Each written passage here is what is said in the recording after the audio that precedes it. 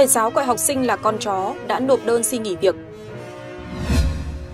Hành tung hai thanh niên bắn trọng thương hai công nhân vệ sinh môi trường. Bệnh nhân cuối cùng nặng nhất vụ cháy chung cư mini cai thở máy bắt đầu tập đi. Tạm giữ nam thanh niên pha ma túy tổng hợp và coca cho bạn uống trong quán bar. Người đàn ông cầm bật lửa, rút xăng xe đe dọa cảnh sát giao thông vì bị yêu cầu đo nồng độ cồn. Xin kính chào quý vị và các bạn đã quay trở lại với kênh youtube của báo Sức khỏe và Đời sống. Vừa rồi là một số thông tin chính sẽ có trong chương trình ngày hôm nay, còn bây giờ là phần tin chi tiết. Liên quan đến vụ việc một thầy giáo tại trường Trung học phổ thông Phan Huy Chú, Thạch Thất có lời lẽ không đúng với học sinh, gây phẫn nộ dư luận. Trước đó, thầy giáo này đã bị nhà trường tạm đình chỉ công việc để xác minh vụ việc. Theo thông tin mới nhất, hiệu trưởng nhà trường cho biết thầy giáo này đã tự kiểm điểm lỗi của mình, đồng thời có đơn xin nghỉ việc do phải chịu sức ép quá lớn từ dư luận mày mày mày mày mày mình ăn uống mày mày đỏ. Hả? Bố mới chửi nó sao có mày mày mày đấu bảo Tức là làm đúng rồi, cho gạch đi cho viết lại thì nó mới sai.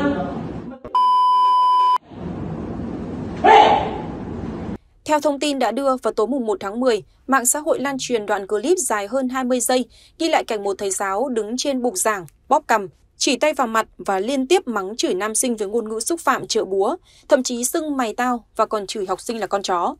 Ngay sau khi vụ việc phát tán, ban lãnh đạo trường học và cha mẹ học sinh đã giải quyết vụ việc. Thầy giáo tiếng Anh NTT đã nhận sai và xin lỗi học sinh, phụ huynh vì những hành vi không đúng chuẩn mực nhà giáo. Học sinh cũng nhận lỗi khi xưng hô với thầy giáo thiếu chủ ngữ vị ngữ, gây sự bực tức.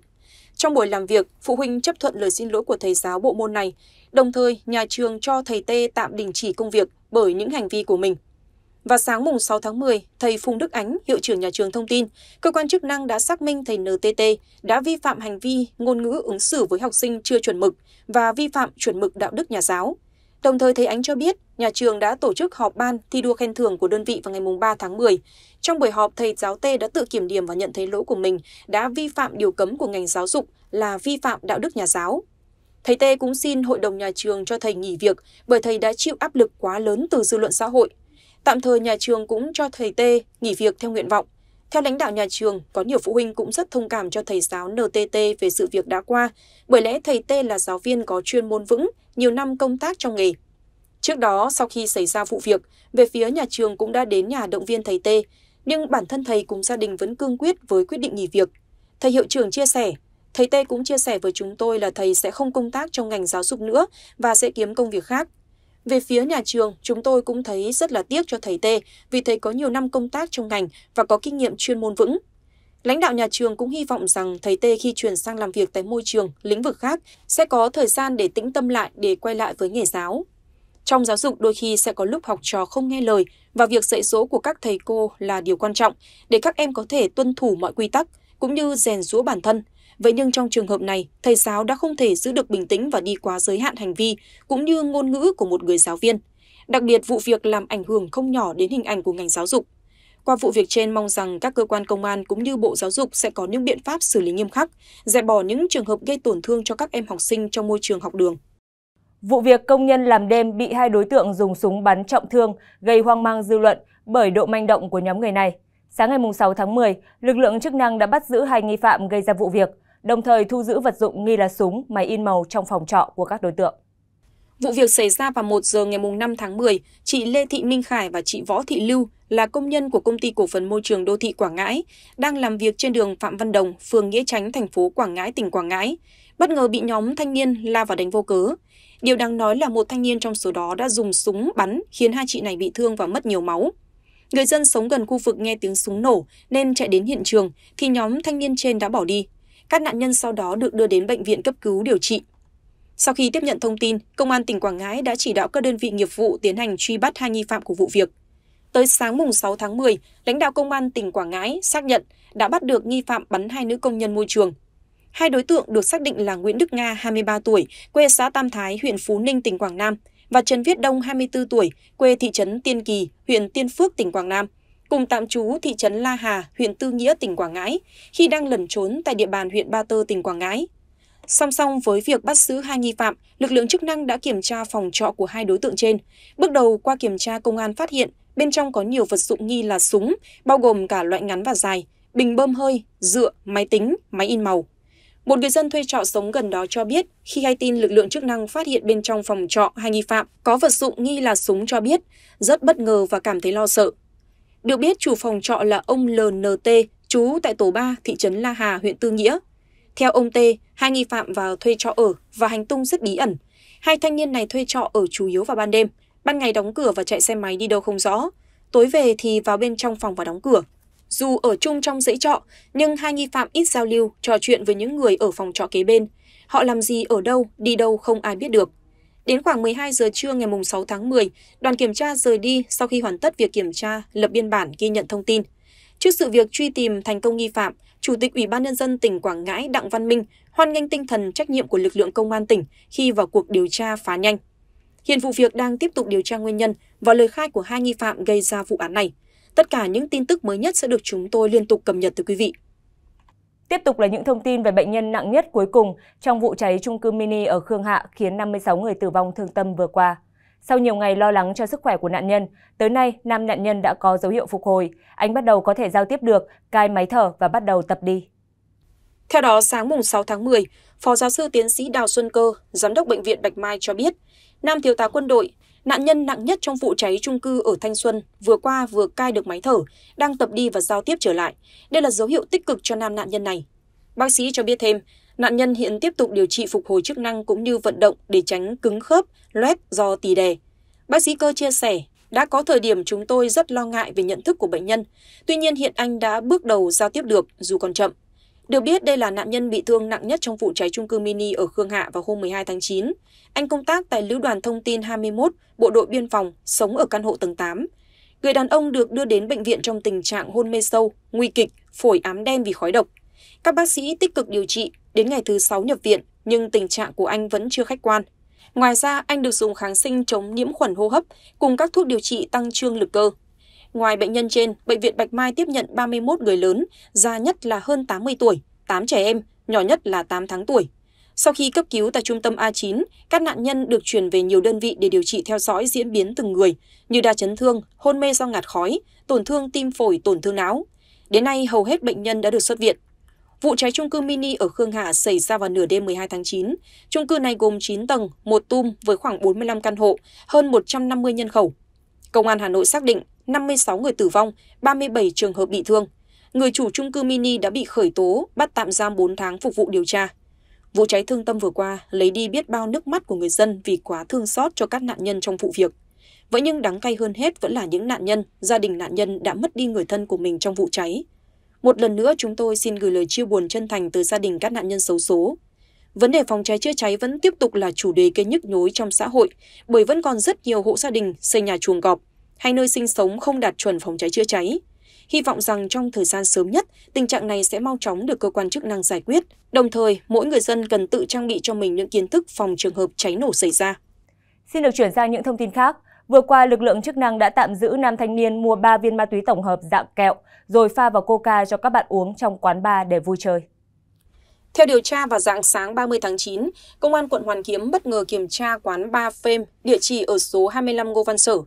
Thời điểm kiểm tra, nhiều khách hàng trong quán có biểu hiện sử dụng ma túy. Qua test nhanh cho thấy 13 trên 19 khách dương tính với ma túy. Điều tra làm rõ lực lượng chức năng xác định vào tối 29 tháng 9, Bùi Ngọc Thắng cùng một số bạn bè đi nhậu.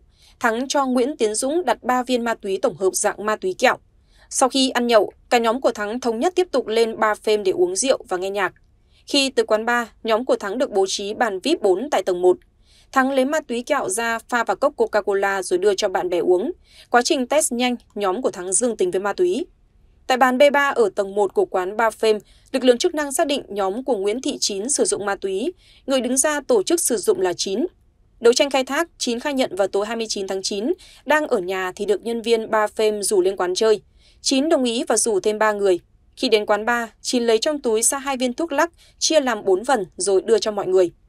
Ngày 6 tháng 10, Công an quận Hoàn Kiếm, thành phố Hà Nội đã tạm giữ hình sự Vũ Thị Huệ, sinh năm 1969, Đống Đa, Nguyễn Thị Chín, sinh năm 1978, Thanh Trì, và Bùi Ngọc Thắng, sinh năm 1989, Đan Phượng, Hà Nội, về hành vi tổ chức sử dụng trái phép chất ma túy.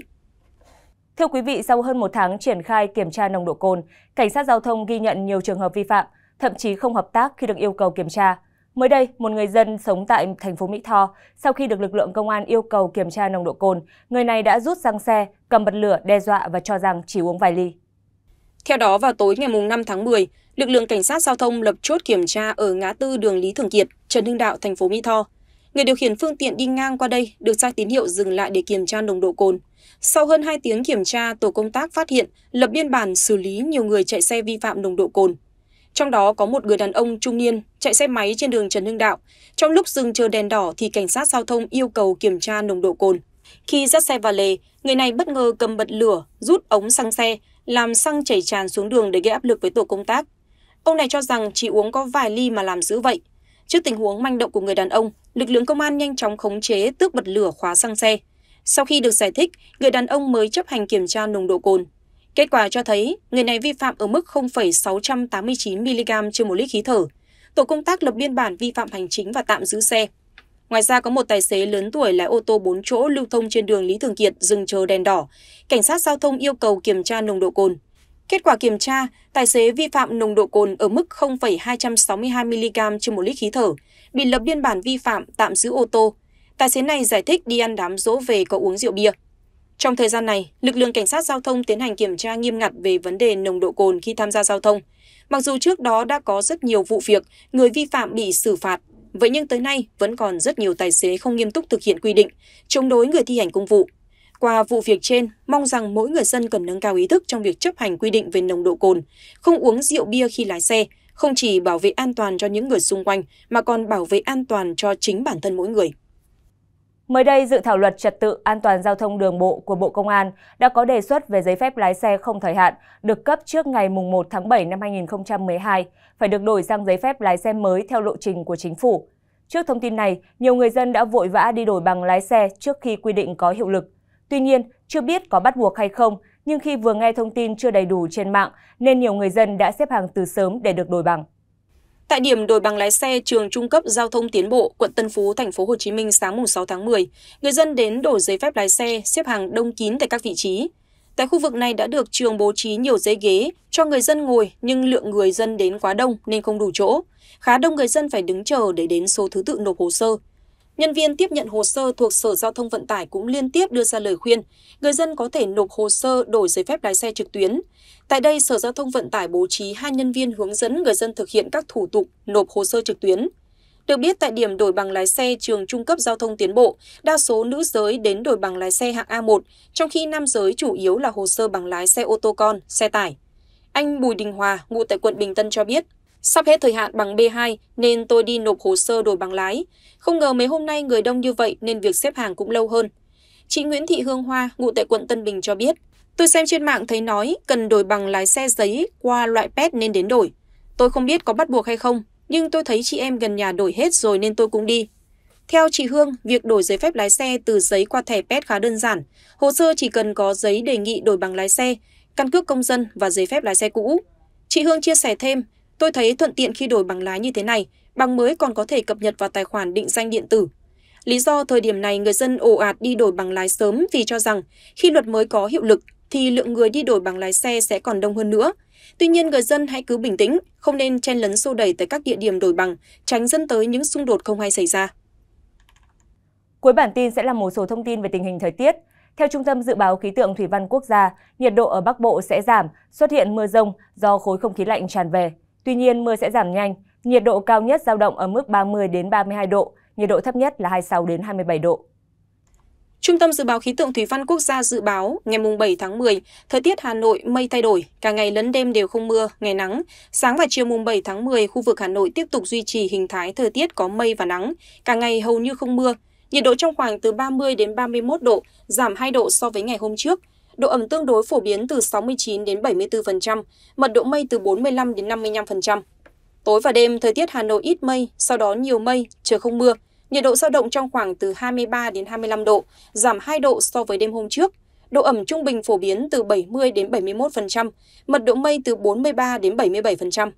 Tại Đà Nẵng, sáng và trưa mùng 7 tháng 10, thời tiết Đà Nẵng nhiều mây, sau đó giảm mây trời nắng, chiều có mưa rào rải rác và có nơi có rông ở một số quận huyện.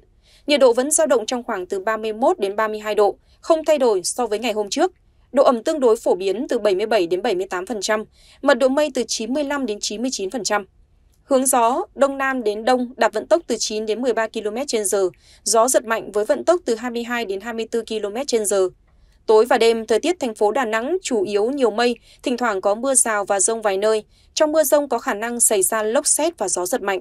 Nhiệt độ giao động trong khoảng từ 25 đến 27 độ. Tại thành phố Hồ Chí Minh nhiều mây, trưa chiều giảm mây trời nắng, chiều và tối có mưa vài nơi. Sáng và chiều, thời tiết thành phố Hồ Chí Minh nhiều mây, trưa chiều giảm mây trời nắng, thỉnh thoảng có mưa rào và rông vài nơi. Thời gian mưa tập trung vào cuối buổi chiều. Nhiệt độ tiếp tục duy trì trong khoảng từ 31 đến 32 độ, độ ẩm tương đối phổ biến từ 78%, mật độ mây 95 đến 96%. Tối, thời tiết thành phố Hồ Chí Minh chủ yếu nhiều mây, đôi lúc có mưa rào nhẹ ở một vài nơi. Tuy nhiên trong đêm thời tiết khô giáo, không mưa, nhiệt độ nằm trong khoảng từ 25 đến 27 độ. Ngoài ra một bộ phận áp cao lục địa từ phía Bắc đang tăng cường lệch đông. Do ảnh hưởng của rìa Tây Nam, lưỡi áp cao lục địa tăng cường lệch đông kết hợp với hội tụ gió trên mực 1.500m nên từ chiều tối và đêm mùng 6 đến sáng mùng 7 tháng 10, ở khu vực Bắc Bộ trong đó có thủ đô Hà Nội có mưa rào và rông. Riêng vùng núi và Trung Du có mưa vừa, có nơi mưa to với lượng mưa từ 20 đến 40 mm, có nơi trên 70 mm. Cơ quan khí tượng lưu ý, thời điểm giao mùa, mưa rông kèm theo nguy cơ lốc xét, mưa đá và gió giật mạnh đặc biệt là các tỉnh miền núi phía Bắc, đồng thời các vùng trũng thấp, các khu đô thị bị ngập úng do mưa to. Dự báo mưa sẽ kết thúc ngay trong ngày 7 tháng 10, đồng thời nhiệt độ ngày này cũng giảm rõ rệt, trước khi mưa và không khí lạnh chi phối thời tiết thủ đô Hà Nội. Những thông tin vừa rồi cũng đã kết thúc chương trình của chúng tôi ngày hôm nay. Xin cảm ơn sự chú ý theo dõi của quý vị. Xin chào và hẹn gặp lại.